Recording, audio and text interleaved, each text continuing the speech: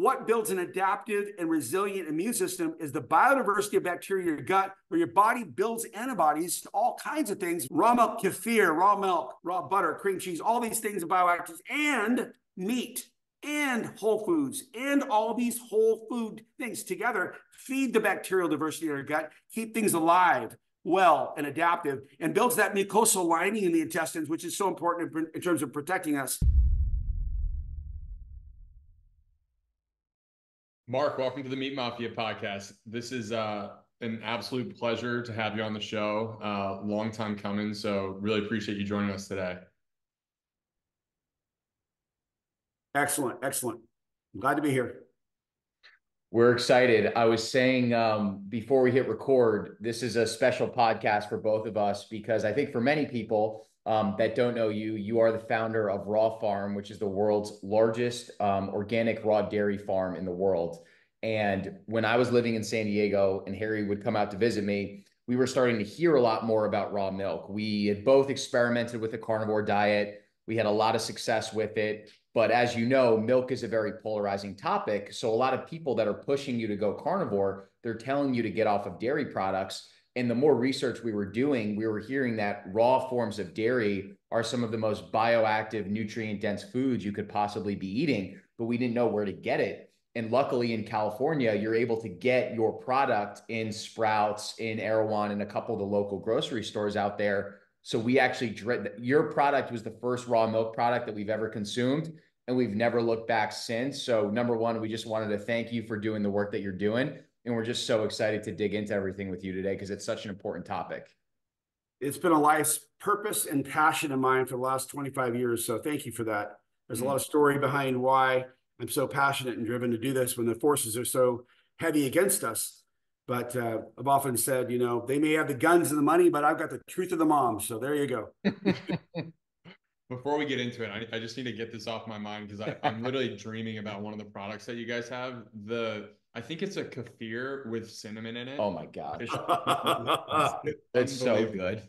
Yeah, it's insane. It's really good. No added sugar. It's just got some various different uh, herbs in, in, in it, you know, and it's just fermented raw milk. It's fermented, you know, with uh, 12 additional bacteria on top of the hundreds of random bacteria that are always occurring in raw milk. And they're taken to literally, you know, what is it, 40 million bacteria per milliliter. And everyone's different because of the way it's fermented. So it's truly rewilding your gut, which is the diversity needed to build an immune system, which is fantastic, and the food to feed it. Yeah, that's we're gonna we're gonna dig into it all. And it's you know, you don't know this, Mark. So we're we live in Austin, Texas now. Um, we both went to college together. We played college baseball together up in Boston. So before we launched the brand, which we really feel is our life's work, I was living in New York City working a job. Harry was in Boston in corporate America as well. And it's fascinating when you go to these Northeast cities and probably even some some more left-leaning cities in California as well. When you go to a coffee shop, the baristas literally say, "Do you want cow's milk or plant-based milk?" And there are so many millennials and people in general that are drinking plant based milk, thinking it's healthier, not realizing that conventional almond milk, oat milk, etc. It's like 15 chemical ingredients, seed oils, rapeseed oil, etc. versus like drinking a product that's actually created by God. So I'm just curious, just to start things off, what is your like reaction to that when you see this world of do you want cow's milk or plant milk? I wrote a interesting little multi-page uh, story. Oh, it's been 15, 17 years ago. It said all of the things that pasteurization has killed.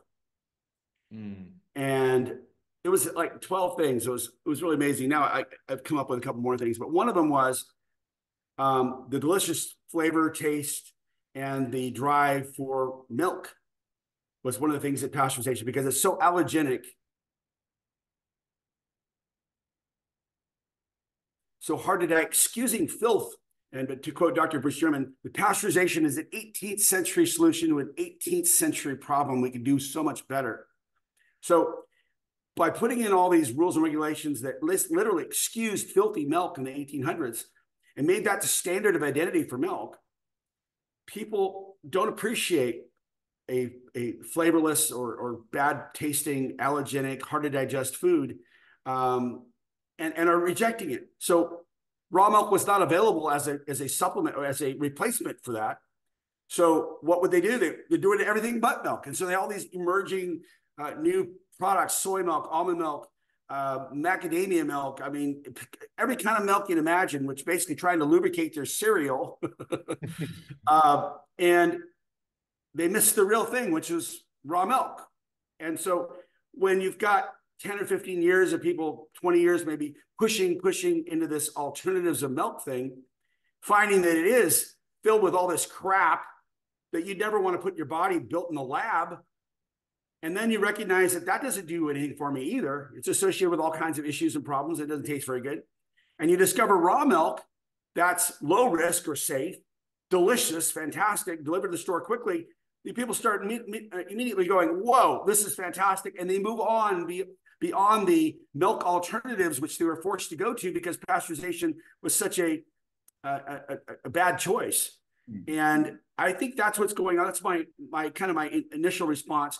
Remember that these milk alternatives do not have the thousands of bioactives found in raw milk. Those bioactives are put there by Mother Nature's blueprint and God Himself through a million years of evolution to make sure that a baby thrived, thrived at its weakest point in life at birth. When it didn't have an immune system, raw colostrum, then raw milk built one in the microbiome of the gut which allowed it to deal with viruses and bacteria and build the biodiversity of, of, of, of, you know, of all the biodiversity in the gut, and then the antibodies, all the wonderful diversity of antibodies to be able to protect themselves against all the onslaughts. And so breastfeeding is raw milk, guys. And what's interesting about that is breast milk is raw milk from mammals, and it's uncontested as the perfect food by the FDA, USDA, World Health Organization, all the physicians organizations, everybody that's anybody says breastfeed your babies, please, please, because all these fantastic benefits. But if you move from breast milk to cows, goats, sheep, horses, reindeer, camels, they freak out. And that's the big paradigm here is we can do a good job of producing safe raw milk. Uh, Dr. Henry Coit did it in 1893.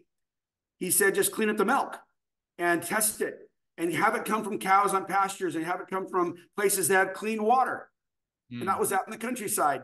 But in 1893, also, uh, you know, Nathan Straus brought in the parboiler from uh, from from France to cook the hell out of the milk because the filthy sources of milk in the downtown city brewery dairies was filled with typhoid and all kinds of crap was killing 50% of the people that drank it.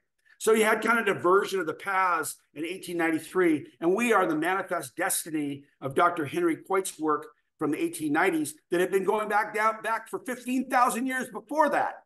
So uh, this is really, really, I think that when people say, "Oh, raw milk's a fad," no, uh, 15,000 year fad, and I love it, no problem. Can you talk a little bit more about, like, just starting from the top, like pasteurization versus raw milk? When did we have to start making that distinction? Because at, at a certain point raw milk just used to be everything. Like like you said mm.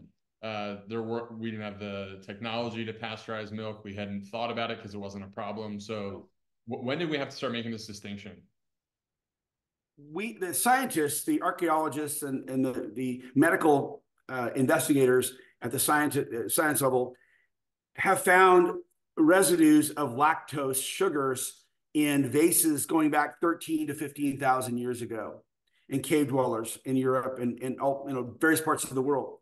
So you think about yourself as a man and a woman and, and a child and, and families or a group of people that were trying to survive. These people are starving. I mean, it was hard to thrive and survive without readily available food sources. You were always trying to hunt or fish or farm or gather or do something to eat. So gathering food and eating was the principal most important thing along with shelter.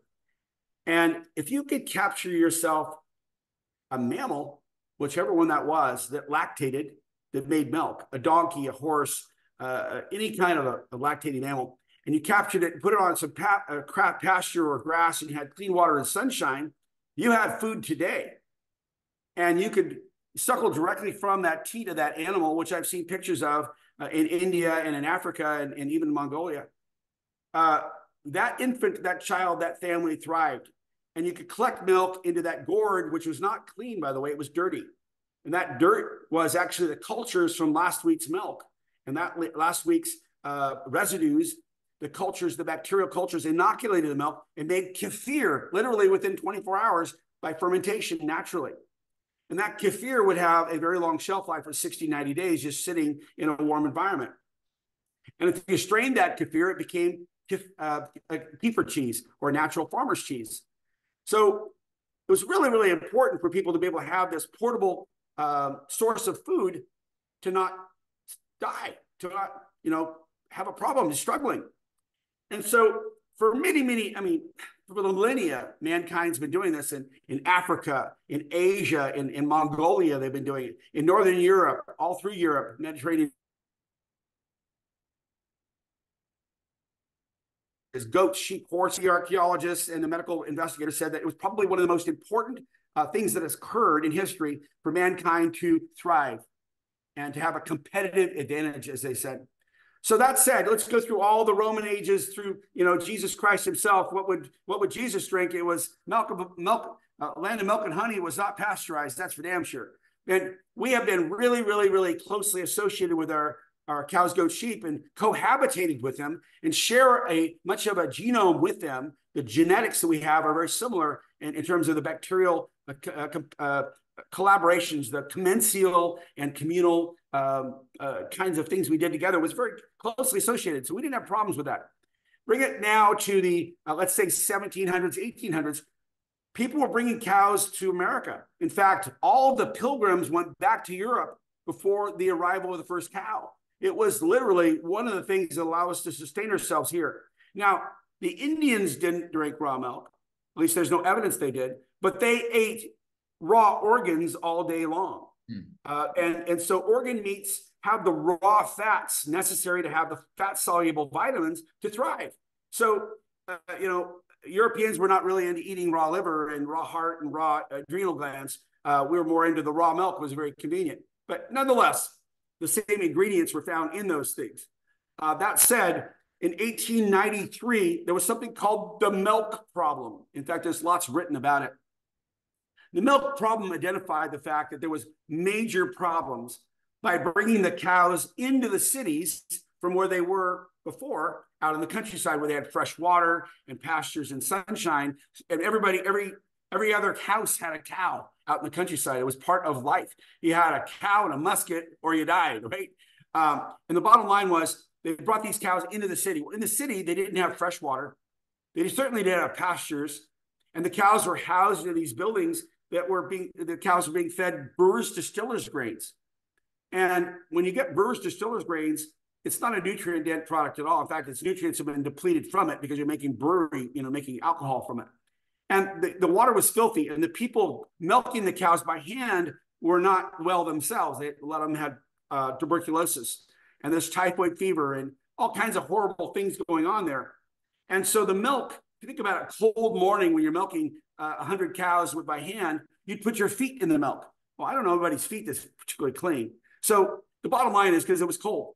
That milk was killing 50% of people that drank it. It was disgusting. And I'm the first to say it was disgusting. And so the remedy was either cook it, and that solved some of the problem because you still had dirty water, and the dirty water caused a lot of problems. So uh, they didn't have the clean water from out the countryside with free flowing, uh, you know, creeks and rivers. It was the filthy water inside cities with no flushy toilets and just filth everywhere. So there was that pathway of divergence where you had Dr. Henry Coit saying the American Association of Medical Milk Commissions, or the AAMMA, had certified raw milk, actually supervised by supervised by physicians in the countryside. That milk was going to the Mayo Clinic to heal people. It was clean raw milk that was wonderful. Then you got the filthy milk that was being cooked and of course, that was the industrial solution, right? That was the way to make filthy okay or relatively okay.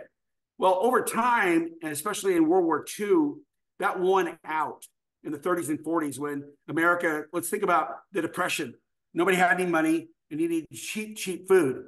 Well, in the 1930s, that was the solution. Just whatever milk you got, just cook the hell out of it and you're good to go and nobody was considering or thinking about the bioactives or the bioavailability or the nutrient content of their food. Remember, in World War II, we were thinking about DDT was good for your skin, smoking was good for your lungs, and nuclear bombs solve social problems. You know, So that was kind of the mindset where pasteurized milk started to win. And there were a lot of lies told about raw milk because the certified raw milk people were thriving, but their milk was more expensive. And the big processors couldn't go get that milk and do their processing with it. They had to, uh, you know, go to the, the, farms, pick up the milk, and then that milk was commingled together with other farms. It had to be cooked because you couldn't control the, the value or the or the quality or the safety of it. So by the 1950s and 60s, you started dying off. A lot of the raw milk was dying off, and you saw the cheap milk prevailing.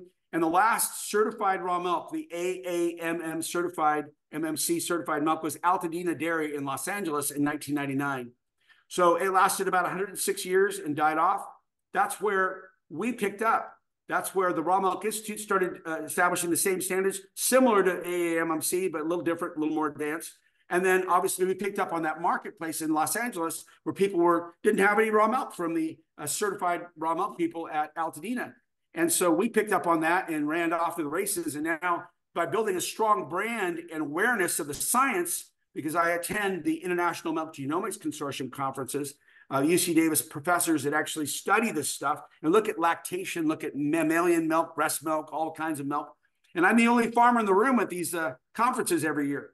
And I take that science and I apply it to what we're doing on the food safety side, on the nutrient density side, and on the education side, on the podcast uh, side with the meat mafia here. And what do you know? People become aware, especially what post COVID, what builds your immune system. It's not a shot in the arm. That sucker's it's short lived and it's good for last year's flu about third of the time. So, what builds an adaptive and resilient immune system is the biodiversity of bacteria in your gut, where your body builds antibodies to all kinds of things versus just what you got a shot for, right? And so it is the adaptive, resilient immune system put here by Mother Nature's blueprint to protect mankind on Earth. That's now the blueprints of people saying, wait a minute, raw milk kefir, raw milk, raw butter, cream cheese, all these things of bioactives, and meat and whole foods and all these whole food things together feed the bacterial diversity in our gut, keep things alive well and adaptive and builds that mucosal lining in the intestines, which is so important in, in terms of protecting us. So that's the short course on 15,000 years ago to today. And it's really, really interesting that people are thriving. They're the ones that don't get the flu. They're the ones that have kids in daycare that don't get sick. Or if they do, it's very short because their, their bodies immediately react to a, a, an antibody. They make an antibody and the ear infection rates are much lower. Asthma gets decreased. Uh, the flu, colds, all that stuff is dramatically reduced, and kids are thriving. That's the truth of farmers over pharmacies. And the, the FDA is really pissed off right now because they want everybody to rely on their pharmaceutical relationships to get the drugs to recover from uh, disease and illness instead of protecting against it uh, and inc- increasing your ability to, to deal with a chronic inflammation uh, with anti-inflammatory foods like raw milk. Uh, they're they're wanting to fix it with a pharmaceutical solution. So this is a revolution occurring as we speak through education and influencers saying, "Guys, there's a better way." Hmm. Mark, there's that is so well said. There's so much information to unpack in that statement that you just made. But I think I think the biggest thing that I'm pulling from you is that when it comes to understanding frameworks around food, really looking back and knowing history is so incredibly important because I think one of the conclusions that Harry and myself have formed is that, to your point, meat and milk are very similarly bastardized. So, where we started was understanding the demonization around saturated fat because we had gone carnivore, started eating all the foods that conventional doctors were telling us not to eat. Those are the foods that really allowed us to heal. Harry ended up buying us two copies of the book, The Untold Story of Milk by Ron uh-huh. Schmidt. So that's when we had learned about swill milk and th- a lot of the historical events that you just talked about. And so a lot of these policies that are still in place around food, our aversion to raw milk, our aversion to saturated fat, this is an extension of things that occurred 50 to 100 plus years ago that are still in place. And what you're saying is that instead of pasteur- pasteurizing this swill milk, what if you actually just create milk uh, in relationship to God and build relationships directly with those farmers. And then you don't need to past- pasteurize it. And then you're getting all these amazing nutrients and bioactive ingredients like you're talking about that you're not going to get in pasteurized milk. Right. You're exactly right. You are exactly right. but Uh, you have to really recognize, and this is this this is a, a worthy foe. This is a worthy freaking fight here, guys. The FDA is so connected to establishments in terms of the money making machines around pharmaceuticals. In my opinion, if I was Secretary of Agriculture for a week, I would immediately strip all responsibility of the FDA for any food whatsoever. Keep them in charge of, of drugs and, and pharmaceuticals and medical stuff. That's great. Let them be experts in that. Take that food and put it under the USDA, put some dirt under it, and make sure that it is food. It's where the beef is. That's where the eggs are. That's where the, the, the vegetables are. That's and and let that be where our food is regulated. Right now, the association with the Food, Drugs, and Cosmetic Act, for instance, which is an FDA regulation, where I can't even speak on our own uh, social platforms about food as medicine. I cannot bring forth any of the science that's done in Europe. And I'm talking about hundreds of studies done in the last 20 years about the medical benefits, the health benefits, the healing benefits of raw milk. I can't even bring forward breast milk. I can't correlate science we've spent billions of dollars investigating and food because that creates a new drug because only drugs cure under our current policy. So that worthy foe is extremely well indoctrinated into policy. And we can't do the farmers over pharmacies thing except on a podcast like your own, which are not talking about uh, my brand per se. We're talking about raw milk, uh, and I'm not promoting me. I'm talking we. Uh, and we really have to kind of be strong enough, stand up and, and say, no, the truth is important for people and not the processors. And that's where really, I mean, this is a battle. And I, am 63 years old. My son's 40. My my grandsons are, you know, seven to 10, 12, uh, 14 years old now, 13 years old. This is going to be a battle we're going to have for generations to buy back and bring back and, and, and actually literally dollar vote back customers saying no, saying, I want this instead of that to change policy and change direction of our medical community. Because right now, I am I was a paramedic for 17 years, so I am very familiar with medical problems. Uh, we need good, strong medicine. Absolutely. We need good trauma centers when we get shot or car accidents or burned. But when it comes to chronic disease processes, we must redirect ourselves to nutrition in the gut microbiome. The science says that our immune systems are 85% in our gut microbiome. But yet, 24,000 people a year, plus or minus a thousand, depending on the year, die from the flu. Mm. I'm sorry. I don't know anybody that drinks raw milk dies from the flu. It doesn't just, I don't know, it's very rare if it does. The bottom line is where is our adaptive and resilient immune systems? And that's what our customers and that's what our people are wanting, and they're getting it because it's the truth.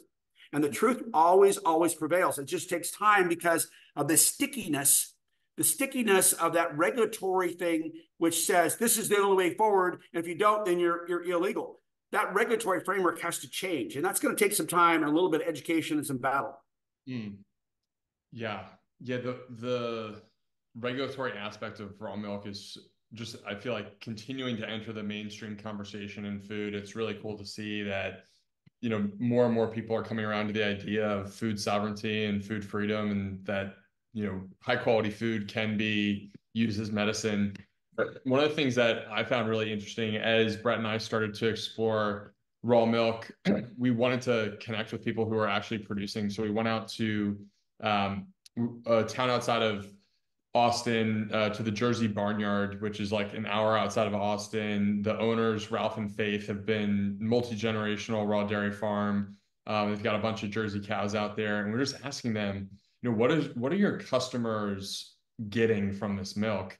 and they started going deep into the healing powers of raw milk and how raw milk has helped a lot of people with autoimmune issues, gut issues, um, skin problems, uh, even like diabetes, reverse some of these long, long medical prescriptions that uh, medicine couldn't figure out a problem for. So it was really powerful. And, and I think that just hearing their stories about the healing power of raw milk was incredible. And it really started to turn a lot of gears for me. So I'm curious what do you what do you attribute to that healing power of raw milk and what what should people know about raw milk as a, a healing agent versus pasteurized like why, why isn't pasteurized milk viewed in the same light as this healing source um, when it comes to all these autoimmune issues man, there's a lot of meat on that bone to talk about, literally.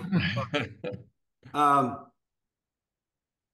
2022, there was a study done by the Milk Process Association, the people who actually uh, process milk in America. And the study was all about the things they wanted to take out of raw milk and make into a new patented pill potion or product. And there were hundreds of these bioactive compounds, these proteins, these functional proteins, lactoferrin, alkaline phosphatase, peptidases, proteases, lipases, all these really, the raw whey protein, probably the most famous of all of them, that are destroyed by heat. They're deactivated. They're no longer bioactive. They're no longer biologically functional. They're destroyed. They're they're no longer they're, they're inert. Um, those bioactives drive how we operate in our gut and how we operate in our bodies, designed by God Himself in terms of the infinite, literally the infinite interactions between a food and your body physiologically. Now, when you consider that those bioactives are destroyed, but yet the processing industry identifies them as incredibly important to take out and at great expense, they want to take these out individually and concentrate them as a food. That is a mistake because the way these bioactives work is in the matrix of the whole. They interact with everything else the raw fats, the proteins, the sugars, all these things together in their exact proportions, in their exact interactions, which are infinite. Literally, you, you can't, you can never enumerate the number of interactions going on uh, it's just um, blow your mind. It's like trying to count all the sand on a, on a beach. It's impossible. So that said, when you take all that together, that's raw milk. And that's what causes these uh, anti-inflammatory, anti-tumor, pro-immune system, um, anti-hypertensive, uh, anti-asthma, anti-allergies. It stabilizes mast cells so histamines are released. I mean, it just goes on and on and on. You take all that and you you make it inert now you drink pasteurized milk, and all you've got is a sugar and a protein that's been denatured. Sometimes that just fuels the bacteria in your gut, which are not healthy for you. You have some issues with all kinds of stuff going on there. And you don't put in the beneficial bacteria that need to compete in part of that matrix of the life, that diversity of bacteria which inhabit your gut. You're not bringing new stuff in. All you're doing is feeding with sugars and proteins, those things are already there and they're not bioactive. So you've got a real problem at a physiological level going on when consuming pasteurized milk, which has basically been denuded and denatured and no longer vital versus something that's alive and well. Now, the FDA will say all day long, there's no difference between the protein levels of raw milk and pasteurized milk. They're absolutely right. They're absolutely right. We don't change the protein levels. We change the living nature of the protein. The fact that it has an enzyme accompanying it, the enzymes are not, de- excuse me, the proteins are not denatured. They're functional. They are building blocks that are ready to go. They have enzymes working with them. They've got their proteases with their proteins. They've got all these things going on. That's what we're talking about. They refuse to go there because all they're saying is, oh, this vitamin or that protein are the same levels or they're not. No, that's not what we're talking about. They've missed the boat. And they've done that intentionally, by the way, because they don't want to go where I'm going. They don't want to go where the physiological activity of that product really makes a difference in your gut and, in your life and in your health. And that's why you see stories like, I had Crohn's disease because I was eating all this American crap and taking all these drugs. They were turning off some of the signs and symptoms as the underlying disease process continued. And I'm two or three weeks from having surgery to have my intestines removed or part of my intestines and have an ileostomy tube and, and, and poop in a plastic bag. And I do I didn't do this, but a friend of mine, um, Google, what do I do to build an immune system and decrease inflammation in my gut? They found that the raw milk and raw milk kefir and whole food nutrition, if given an opportunity over a period of three to six months, cures Crohn's and irritable bowel. Hmm. Well, interesting enough, I've got at least 10 examples of people that have done that where the doctor said nutrition does not matter. Take our drugs, and if it doesn't work, we'll just take use surgery to fix it. They have an economic vested interest in that, guys. They have an economic vested interest to do surgeries on people's intestines and have them poop in a plastic bag. No. The bottom line is farmers over pharmacies. And when you go about changing the gut microbiome background environment where there's no longer inflammation, then the ulcerization of, of uh, colitis and, and uh, Crohn's goes away. You don't mm. have a choice. So uh, we've got many, many people that are delighted by the fact they no longer have irritable bowel syndrome, they don't have Crohn's disease, and those are severe conditions um, that that have cured it with a whole food diet. And the raw fats and good fats and cholesterols are very, very healing, and they come from meat, and they come from raw fats in raw milk. The meat fats and raw fats are very similar, very similar. So, long story short, I mean, we, we got stories of people with asthma that were on inhalers, their kids couldn't get near peanuts and all kinds of stuff. And after six months being on a raw milk kefir diet and eating avocados and olive oil, all these wonderful Mediterranean foods, uh, Mediterranean diet type foods, they're running track and they don't have to take inhalers anymore and off their corticosteroids. I mean, this story goes on and on and on about children that have no more ear infections, that had chronic ear infections and back-to-back antibiotics all the time, and no longer having that problem. Their ears are clear, and when their parents go over the grapevine come to Fresno to visit us, they don't have uh, their ears aren't plugged because they don't have inflammation and the altitude changes. We've got commercial pilots that said, you know, I also used, always used to have pressurization changes in my aircraft, or the non-pressurized aircraft always had pressurization changes in there. But after drinking rum up, they no longer have that because their eustachian tubes are open and don't have inflammation.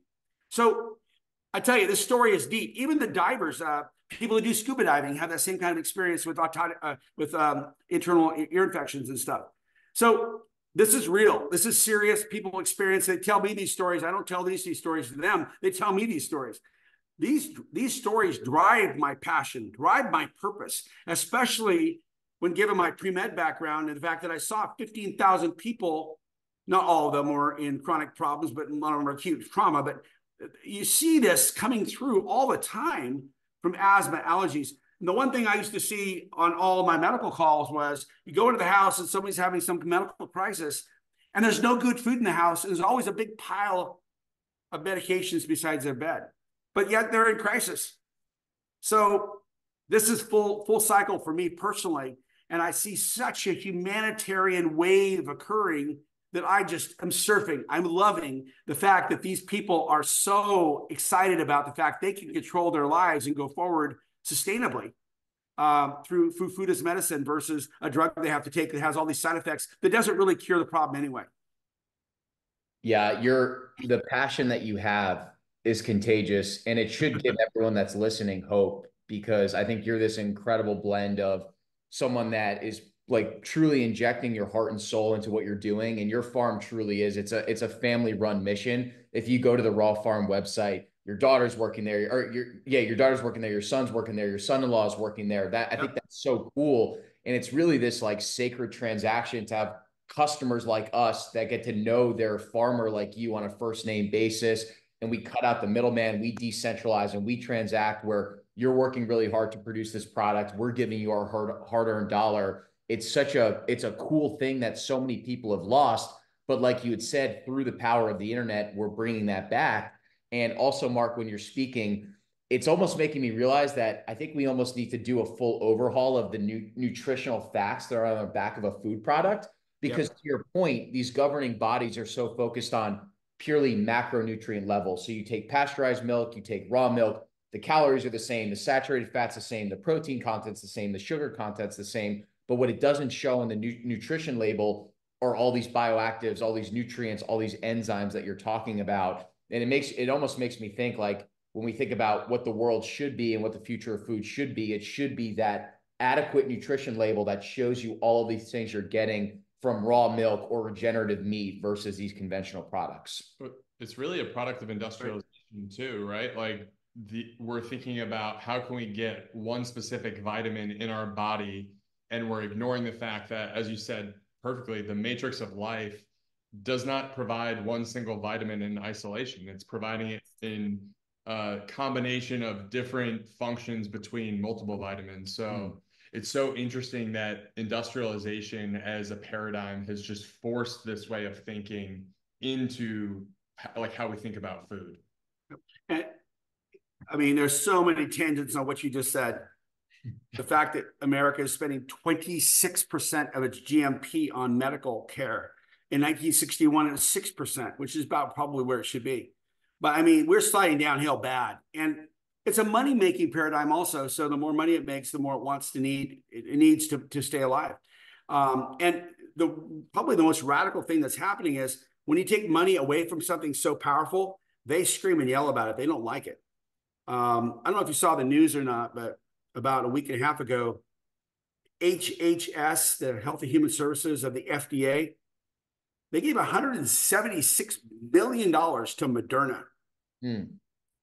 To create a mRNA vaccine for avian flu, and that's the HPAI, the whole um, cow flu thing. Mm.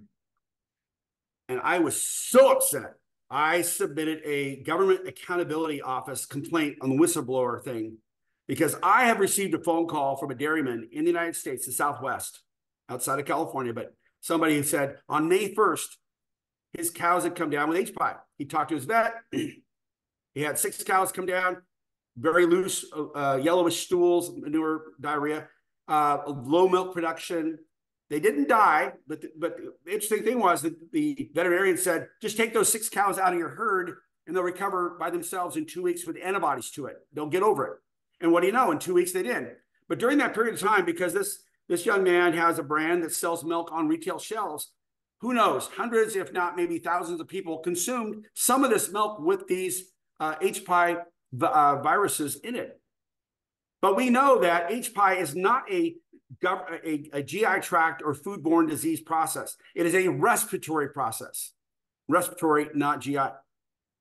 Nobody got sick. No complaints. Tasted delicious. Yes, he'd removed the cows out of the herd. However, before he caught the cows, it got in the milk. So some level of HPAI was in the milk. Interesting enough, I got that phone call and I submitted uh, all kinds of information to the FDA immediately saying, guys, you need to look at this because it doesn't cause illness. Because I got I got the phone call after this had occurred on May 25th. So I submitted information to Dr. Prater at the FDA saying, guys, wake up, wake up. H. doesn't cause illness in humans. And you know that because the science says it. And here's a real life human experience with all these people. He didn't respond for three weeks. Then I wrote another email back to him saying, I'm concerned you're not reacting and responding to what I said. That was on uh, June 3rd. Uh, excuse me, July 3rd. And he responded saying, Tell me more. Uh, I told him as much as I knew. He still hasn't responded since. And the interesting thing is, now the state that this problem occurred in, they're denying it occurred. They're denying there was a problem because they don't want the social pressure of having had this happen and have it answer the questions that come about this. And meanwhile, the FDA has been pushing HPAI, or this highly pathogenic avian influenza, which is not hylopathic, by the way, in the media for the last six months. And so the science and real life experience is suppressed because of the forces at Moderna, literally getting mm. their $176 million. And if you look at the Moderna they were having a challenge because their income dropped substantially because they're no longer making COVID vaccination, making billions of dollars. So it's the sustain the sustainability of create a new crisis so you can fix a new crisis. And in this case, there was no crisis. There was no crisis to fix. It didn't occur. It has not occurred. There's been no illnesses from raw milk and HPAI in the, in the United States, not one. Yet we're spending 176 million dollars on Moderna to create a vaccine nobody wants anyway that's mm. not even a basis for even taking. There's nobody dying. So this is the insanity and the entrenched politics of what's going on at the highest levels, or I should say the lowest levels, depending how you look at it. Uh, so the truth needs to get out. The truth needs to, you know, the bioactives found in raw milk are very, very antiviral. That's why kids don't get viruses. They don't get flu and cold. And the European studies are so clear on that. So it's interesting that consumers that would consume his milk now are consuming milk from cows that have antibodies for that milk in their uh, for that uh, virus in their milk and it's highly healing and protective. So mother nature's blueprints are being ignored suppressed uh, in favor of pharmaceutical interests to make a bunch of money and that's just so sad. So i just thought i'd tell that little story to you because it's breaking news to me. We're going to be on uh, probably tomorrow or the next day, uh, LA Times has a major breaking story on this where they came out and interviewed me and, and story is really going to be thick and deep with science and why this is growing the way it is. Wow. That's yeah, wow. I mean, it, it really it seems like this isn't a story that's in isolation. Like I, we had the Strong Sisters. I'm not sure if you're familiar with them. They they uh, live in Michigan. They run a co-op called the Nourish Co-op, and they were just I think just last week rated by the Michigan Department of Agriculture threw away ninety thousand dollars worth of raw dairy products simply because the avian flu scare, um, the H5N1. So I'm curious to get your take on that a little bit more. Do you like what what do you think the real risk factors are with the bird flu? Do you think it's or and what do you think the motives are for kind of pushing this fear out into the public um like consciousness like why why are why is this why are people getting rated for having raw dairy farms uh, during this time well i'll start with the science um, peg coleman with coleman scientific is an ex-usda risk analysis and medical biologist. And she did a meta-analysis, which is a study of all studies, right? Is looking at all the information available at PubMed and other archiving literature databases, and found that there was no evidence at all that this particular H5N1 virus lacked the genetic potential to make the jump to humans. And it was a virus that was actually communicated by uh, respiratory communication and transmission, not GI tract. It wasn't like norovirus, which can cause problems to GI tract. It wasn't like that. It was different. Genomically, genetically, it was different. So the FDA knows this. Their scientists are very smart. But remember, post COVID, they really, really beat up a big fear campaign on COVID. Now, I'm not saying that COVID didn't kill people. It did. It really did. It killed those that had compromised immune systems and poor health. That's who it killed. It weeded out the, the herd. Um, and everybody, even those that got vaccinated, and I unfortunately made the choice to become vaccinated. I had a, a Moderna vaccine myself. Being the old paramedic, I said, "What the hell? Let's do it." And I got I got COVID. It wasn't severe, but I got COVID. Now, maybe it would have been worse if I didn't, but I know a lot of people that didn't get vaccinated that had strong immune systems that had no effect whatsoever from COVID. Mm-hmm. And sometimes they didn't have COVID at all. So, bottom line is there's a huge push and a momentum within the pharmaceutical industry. Once you've funded the COVID vaccination and you created mRNA, uh, they are going to want a second wave, third wave, fourth wave. It's the new way that they can make money. So, in my opinion, I think this whole Moderna thing is a perfect example of you've created a large capacity organization, you have bigger paychecks to fill, you've had profits in the past, and now that's passed. How do you sustain that organization without another crisis?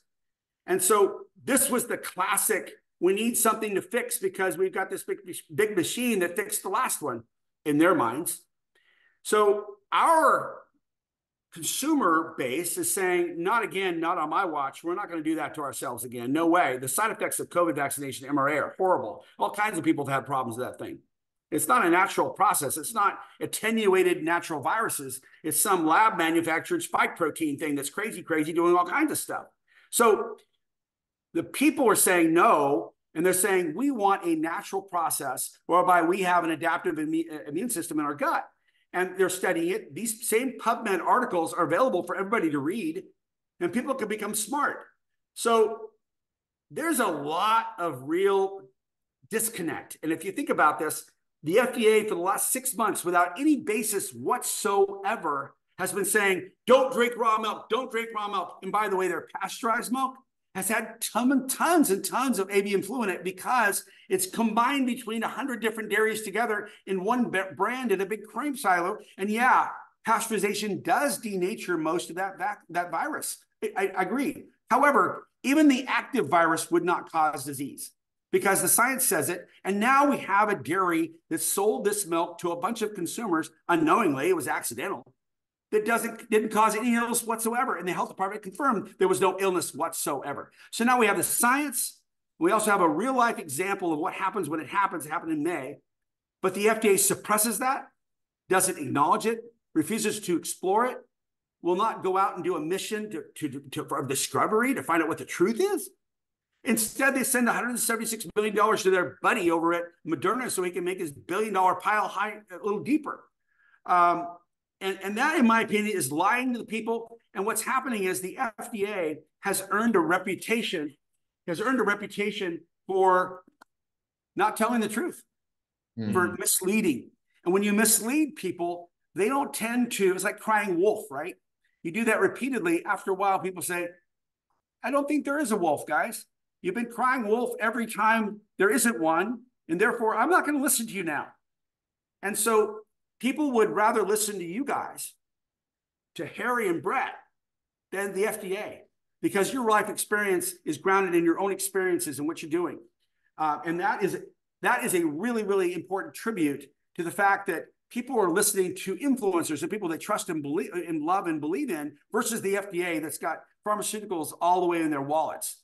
So that's what's going on now is people are saying, no, I'm not going to listen to the FDA anymore. I'm listening to farmers. I'm listening to those that have experienced a, a strong and immune a strong immune system, and I'm going to go farmers over pharmacies. And that's what's going on, guys. Mm. Yeah, it's it's interesting that you say that because had I not listened to podcasters, farmers, even Reddit threads, I would still be on medication that was costing me four hundred thousand dollars a year shitting blood versus being clinically healed in the best shape of my life. And I think why it's so important is that people that are putting out this information are actually sharing modalities of how they actually were able to heal themselves and sharing true science where conventional medicine is just like nope that's anecdotal that doesn't fit within our peer reviewed exactly. randomized controlled trials et cetera that's not science where real science is is healing and taking all these different sources of, in, of information applying them and figuring out what works best for you, which is why the information you're talking about, Mark, is so important. Um, Mark, one of the questions I really wanted to ask you, because I think this is really important, I do think there might be a slight misconception around raw milk in the fact that the smaller the dairy is, it's a better indication of the fact that the milk is going to be really high quality and it's easier to keep clean. And I think why raw farm is so important is that you've proven that you can have the largest raw raw organic farm in the world and still have incredibly incredible quality of milk.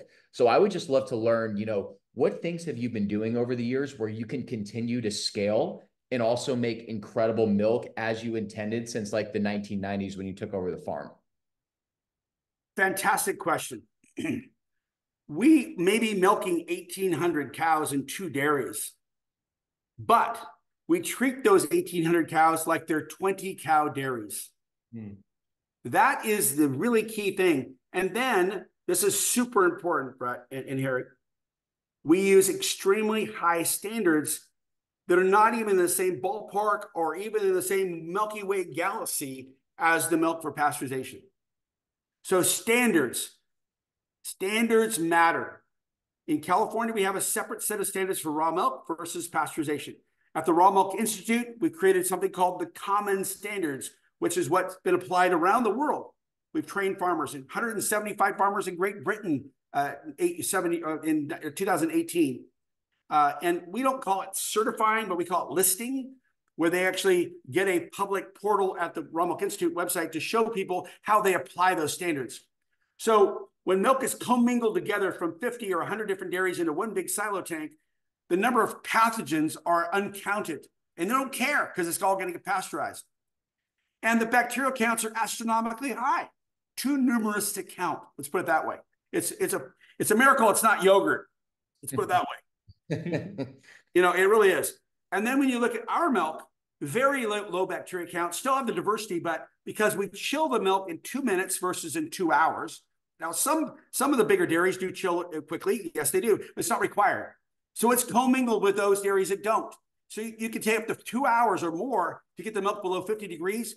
Our milk goes from 99 degrees, the body temperature of the cow, down to 36 degrees, three degrees above freezing in two minutes. Mm. So completely different standards, extremely clean bacteria uh, udders, very, very clean pathways, no biofilms. Um, a lot of testing. We're spending a half million dollars a year on testing because we know that if a pathogen does get through, and there are some people out there with very compromised immune systems, they could get sick. And since I don't know everybody that's consuming our products. They walk by and pick our, our milk up off the, of the store shelf at Erewhon or Sprouts or Nugget Markets or Lassen's Markets. And they may be saying, you know what? I've got a really compromised immune system. I want to build it back better. Well, they're the ones that could get sick too, as they do build back better. So the bottom line is we are very in tune to the cutting edge of testing.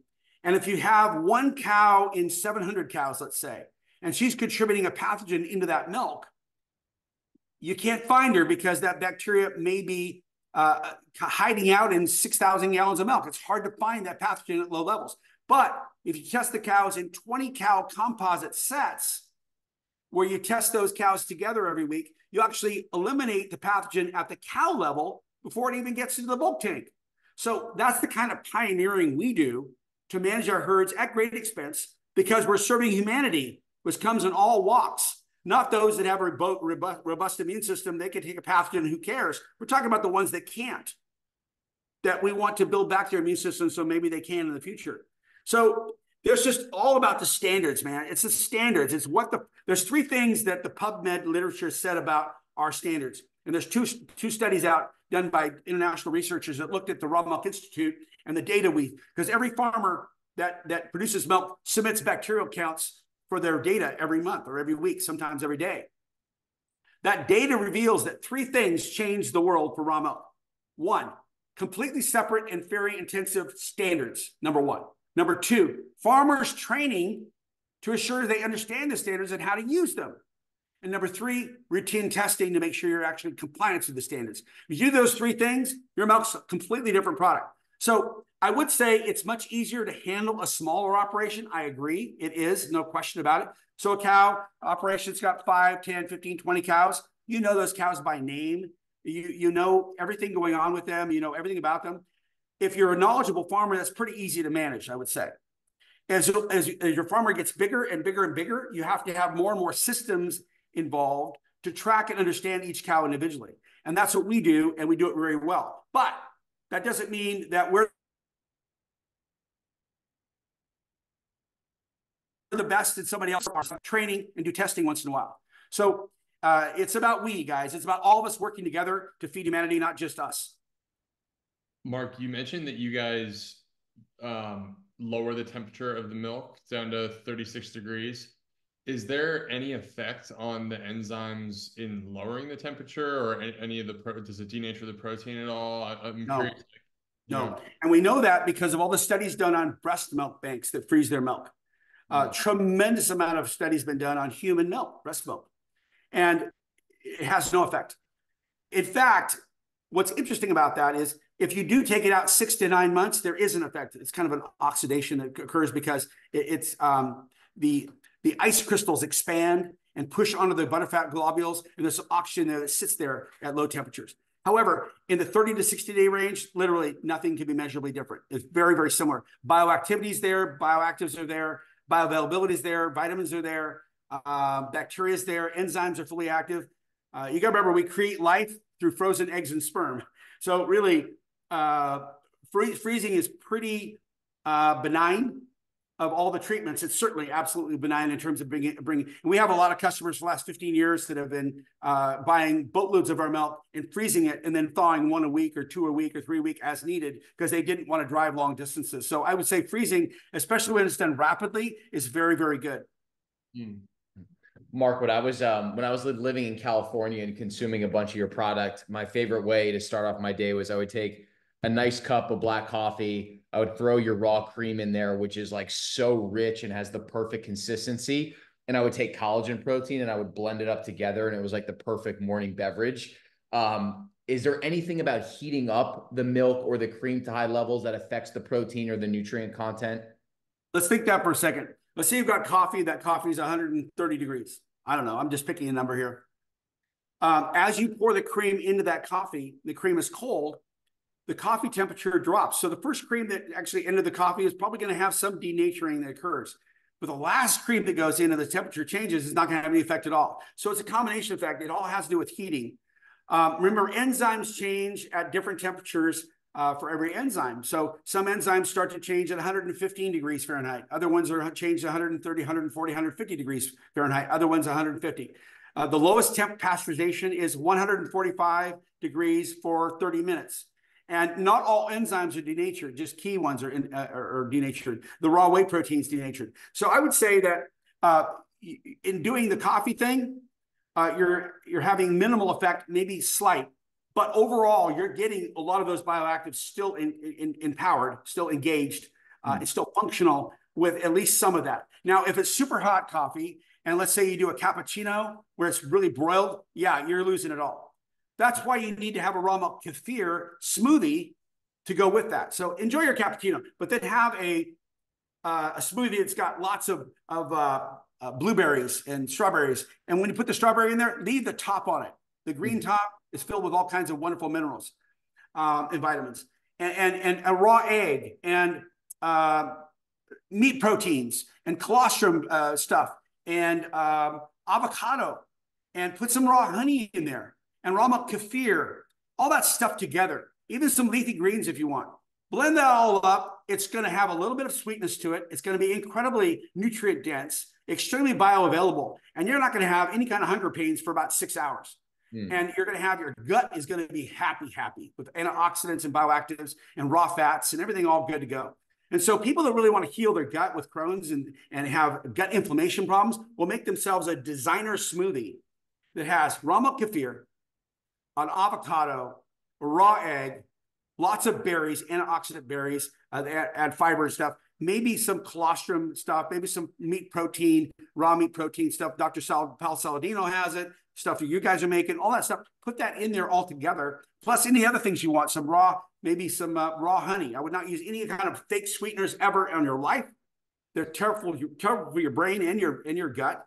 Um, and you've got yourself maybe throw some kale in there or, or, or, or whatever, a spinach, and you blend it all together the flavors of the kefir and the berries are going to supersede everything.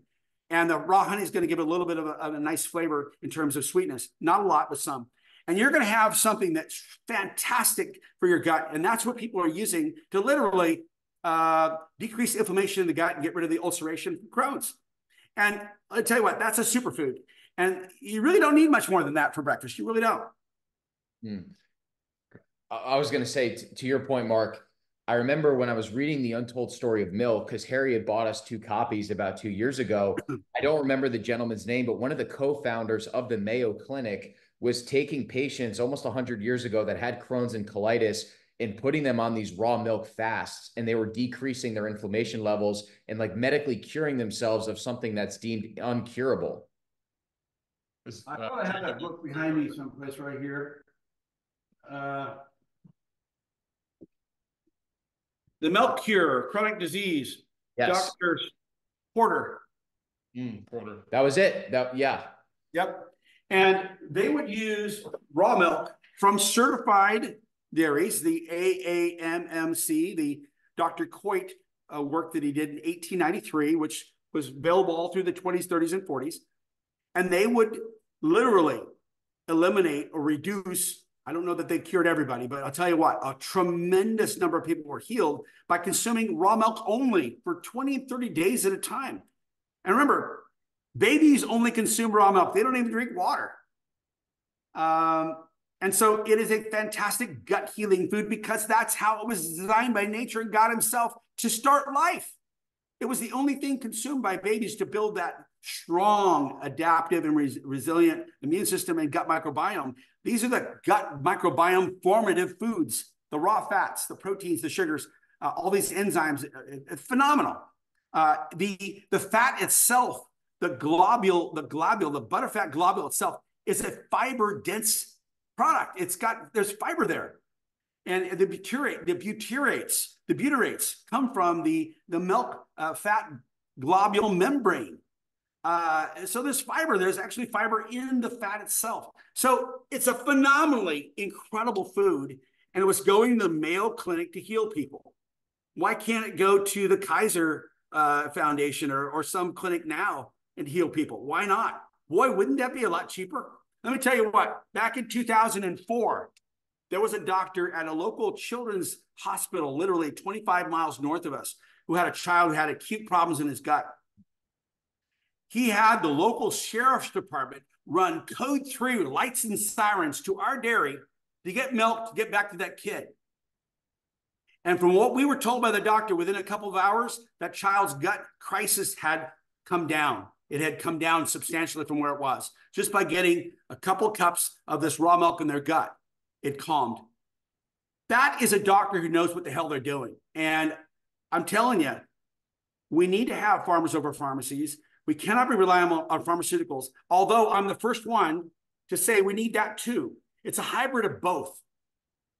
It's about 20% modern medicine and about 80% food, and you get the best outcome. but we need to start the food early in life so you don't need the 20%, right? Definitely. Yeah, it, it's it's um it's such a good message and, and I, I think it's hopeful too for anyone mm-hmm. listening. You know, I, I think it can be really do, doom and gloom when you're thinking about the pharmaceutical industry and its growth and power and incentives and all the momentum behind it. But at the end of the day, people, I, I truly believe, you know, people have the motivation to be healthy and to thrive and to want to live an abundant life. And I think at the core of that, it's how do you feed yourself uh, nutritionally, and you know, there's a lifestyle component to that as well. But really, a lot of it just starts with with diet and real foods. Um, well, I, Harry, I think you're absolutely correct. We have to be patient, but passionate. Totally. And so, if you do patience and passionate, it means you consistently, persistently teach, teach, teach and because we're teaching the truth here, we're not teaching some phony, weird, fake crap. We're talking about serious stuff that makes big differences. And when you get a, a kind of a, a level of market penetration where people are dollar voting, they're saying, nah, I'm not doing the drugs, I'm doing the food. And you start to veer, that guiding hand becomes incredibly powerful, especially in America here, where you're choosing health through gut microbiome nourishing foods and you're avoiding the other drugs and reducing it over time, that is absolutely non-confusing to anybody what's going to go on because you're going to get a force of nature happening in the marketplace which demands this. And you're going to have more and more farmers doing it. You have better better training for farmers. You're going to have and eventually you actually have regulatory change because the people want it. They're buying it. They're supporting it. They're that's happened to a certain extent here in california where yeah. we're now we're in 600 stores or so, uh, and, and and and we have five dairies a day failing in America and a dairy a week in California that are the pasteurized guys. They're dying, and it's terrible because they're doing a great job what they're supposed to do, mm. but nobody's wanting their products at the levels they were before.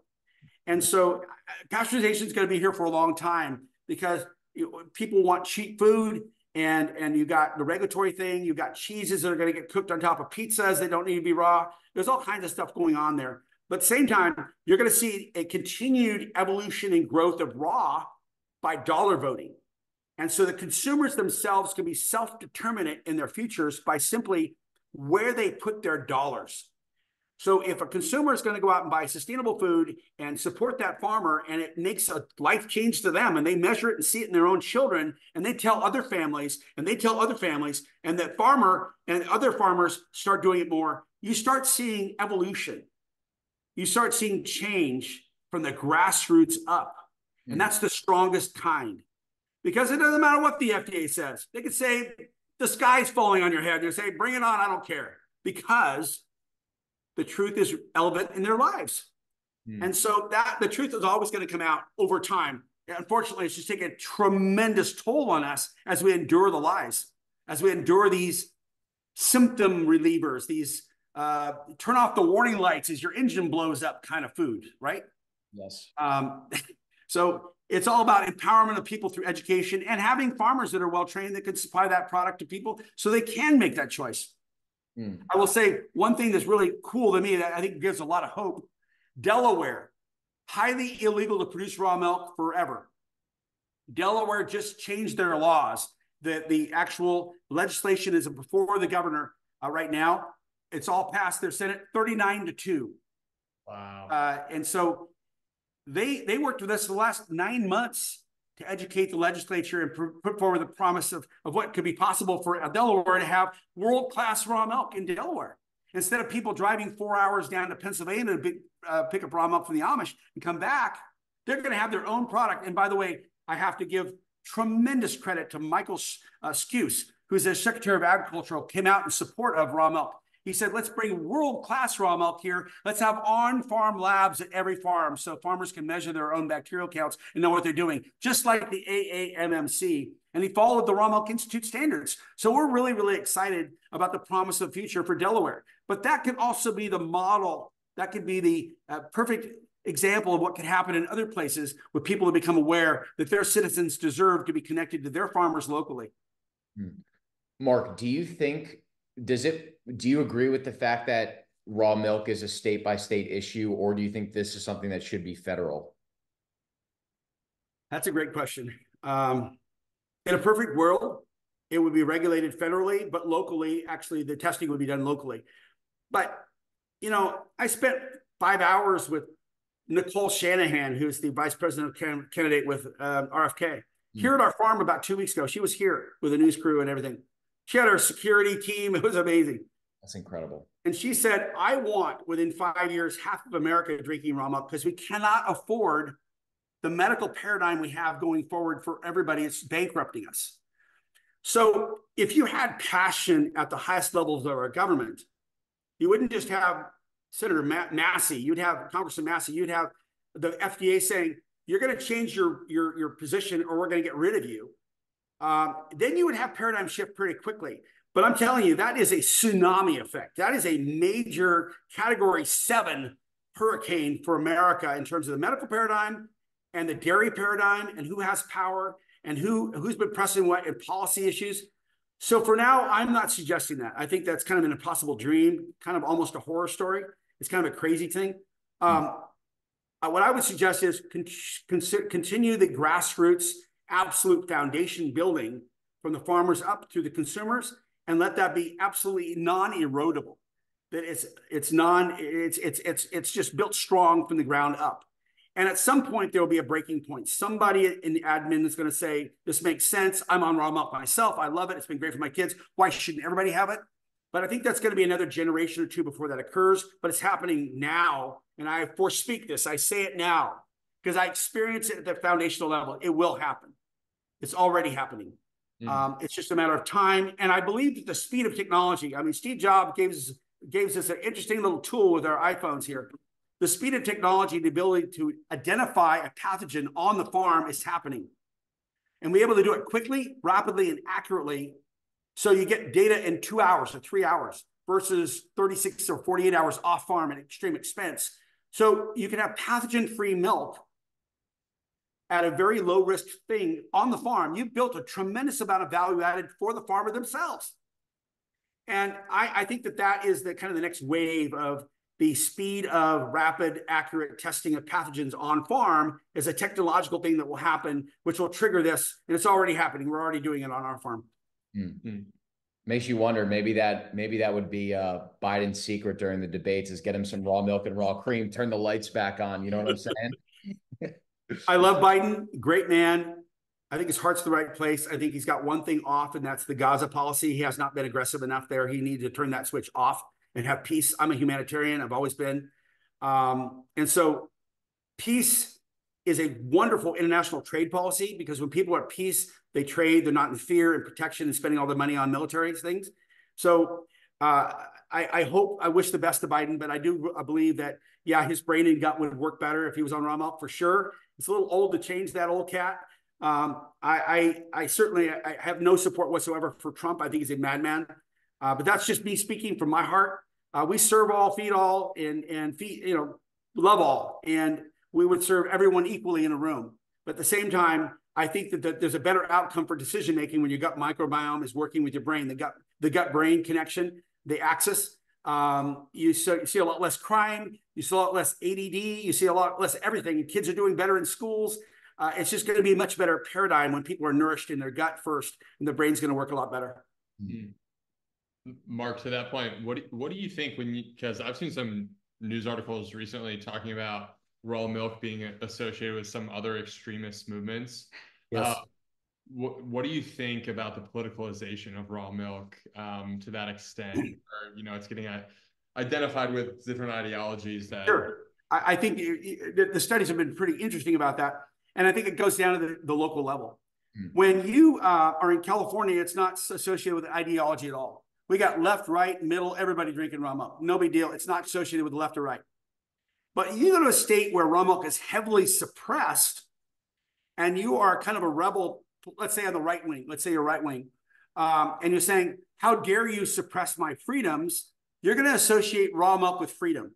And I get that 100%. And they're going to champion that. It happened in Delaware quite a bit, but we also get, we got a lot of, of, uh, uh, bipartisan support 100% because they realized it wasn't about whether you're left or right or red or, or, or blue. It was about whether you have kids or not. you know? And so it's interesting that where those areas where you have the, the least amount of freedoms, you'll see the right wing really championing it as a freedom issue. But when you have raw milk as kind of available to everybody, it's not a left or right issue at all. It is a human right. It is a, a nutritional right issue. And so um, I do see it being reflected in the media. And I think that media is writing about the local story about how somebody in the right wing picked up and championed, championed raw milk. I haven't seen Trump come out and advocate for raw milk at all. Um, he's drinking his Diet Pepsi or whatever he's drinking. So mm-hmm. I, I, I don't I don't get that really as a pure thought in terms of right versus left. But I do understand and I do agree that it has been written about as a um, a partisan issue where you have freedoms that are suppressed. Hmm. Yeah, it's it's really interesting because you'd mentioned um, RFK's VP coming out to meet with you for multiple hours. I saw a video, some promotional video for him where he was talking about chronic disease and this, you know, kind of like the the monopoly of the food system. He was talking about it for multiple minutes in this promo video where he was right. talking about all these different issues. I know he's been out to White Oak Pastures before. It's really right. cool to see a candidate that's addressing these fundamental levels with our food system so um, so closely. It's pretty it's pretty incredible, and it's going to be interesting to see with these these younger crops of candidates that are more plugged in you know, seeing this become more of a political issue because this really should transcend both lines of the political spectrum. It should. And I, I personally, if I was going to say anything to RFK right now, would be if you would be pro peace in Gaza, stop firing bullets there immediately, he'd pick up the Muslim vote. Hmm. And his whole entire platform on nutrition is rock solid, fantastic. I love it. I love it. He would do so much better than he currently is. Uh, so he needs to differentiate himself from both, um, you know, uh, uh, current, you know, candidates, Biden and Trump, and he could do that by by doing something that's really pro peace. In my opinion, I think that would really work well for him. But I don't know why he hasn't done that yet, but he should. Mm-hmm. Mark, one of the things I wanted to ask you is that I saw a statistic that Raw Farm currently feeds 50,000 Cal- California families, which is such an incredible statistic. And then you think about all the raw dairy farmers that you've trained, the number that kind of stems back to you is probably in the millions, which is so unbelievable to think about the nourishment that's coming from these practices. What is that feeling actually like knowing that you're making a dent and a difference in this thing that seems so overwhelming and actually proving that we can win this war in, terms of food sovereignty and nourishing our community? Well, when you're in a battle, you, you tend you tend not to know what it's going to look like after the battle. You just kind of feel like you're in the battle. And I, I think I'm kind of there a little bit, but I've immersed myself so much in the educational side of this that um, I do feel really, really good about all these reported uh, cases of, of improved uh, illness or improved uh, health with our foods. So I'm getting a sense of what it is like after the battle a little bit now, which is wonderful. But I, I think that um, educating has been one of the greatest things for me to keep my heart straight was when you teach people and they come back and say, you know, you told me two and a half, three years ago, and now I'm having a different life because of it. I feel very sustained by that. So, um, again, uh, we got the truth in the moms. They may have the, gun, the guns and the money, but the truth in the moms are so important because you can live by those things. The mom that comes to our, our on farm store here and buys our product and tells me a story about how fantastic her kids are doing and gives a big, big hug and tears in her eyes, that drives you at a deeper humanity level. Mm. It allows you to do things that are very brave because you know who you're working for, you know who you're representing. Um, we've had FDA inspectors at our farm for weeks at a time, and I've given them a head trip on raw milk. I've tell, I showed them all the archived information at their own website about raw milk and breast milk and all this kind of stuff. And I, I really do think I changed their minds about why I fight like I fight and why I'm educating like I'm educating. So I send weakness back into their foundations for the fact that they have self-reflection on what they're actually doing to themselves and for themselves and by themselves. Um, I, I, I don't know. That there's just, like I said, a stickiness to the paradigm where, where people tend to stay with what they know and they don't like to change. And to change means you have to admit to something that wasn't right. Mm. And that takes flexibility in your mind. It takes an open mind. It takes an open heart. And that's why we generally don't teach raw milk. I mean, I sell raw milk. We don't go out and sell buy raw, buy raw milk. We never say buy raw. No, I never. I say that's your choice. What we do is we teach about your immune system so you can make an intelligent, informed choice yourself. And that's really empowering to people. And I think that that has caused, like you said, a ripple effect where we've had a multiplier effect. I real, realized back in 2010, 15, 12, 14, 15 years ago, that we will not emerge as a brand ourselves unless all boats, all boats were floating in the harbor, all uh, the tide raised all boats, raised all boats. So reaching out to train what people might argue is my competition was super important to me because I wanted all raw milk to be a good experience. And so development of standards for raw milk and training farmers farmers unselfishly was one of the greatest things we've ever done for our own brand mm. because we share customers. People that might visit your dairy in Texas or some other place, they come here and they drink raw milk, my raw milk, and they have a good experience. Well, they go back to Texas, they want that same experience. So I'm not going to feed everybody. I don't want to feed everybody. I want to feed those that that are nearby me, that are local to me. And I want farmers to feed their local farmers. So I'm not sure if it's local as far as state by state is concerned. Um, I do know that our raw pet food is being distributed nationally as we speak. Uh, it's for animal uh, consumption only, and I will not speak about that uh, at all. It comes off the exact same production line, and we it is it is labeled ex, ex, only for pet food consumption. That's an FDA thing we have to comply with. So I'll leave that alone. But the bottom line is the more we can have local food feed local uh, consumers, the more resilient we'll be as a food system.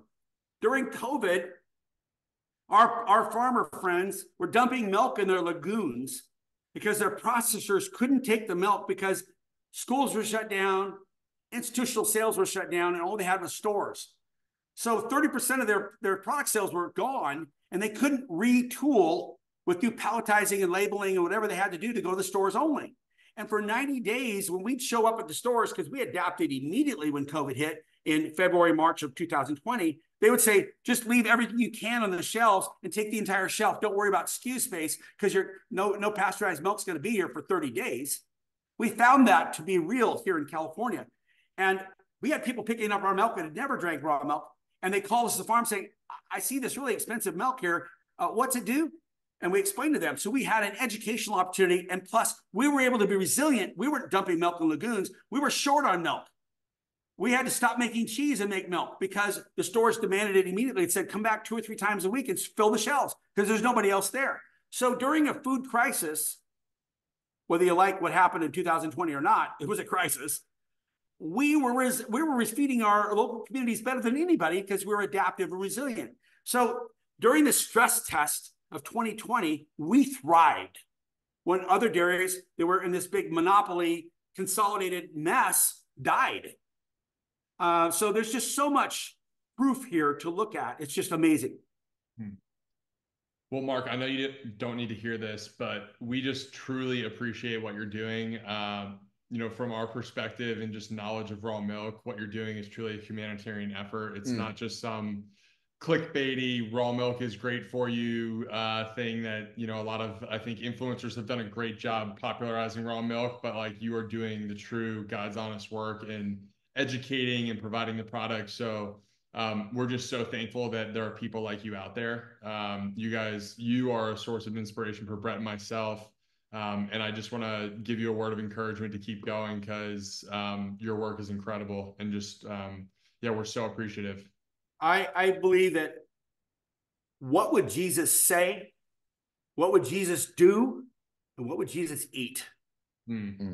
Three things to really think about in your mind. What would he say? What would he do? And what would he eat? I think he would do what we're doing.